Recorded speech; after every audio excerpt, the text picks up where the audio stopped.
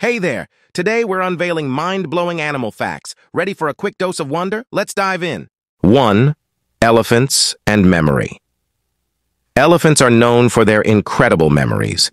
They can remember and recognize individual humans and other elephants for years, showcasing a remarkable level of cognitive ability. 2. Cephalopod. Camouflage. Octopuses and cuttlefish are masters of camouflage. They can change the color and texture of their skin to blend seamlessly with their surroundings, providing a remarkable display of adaptability. 3.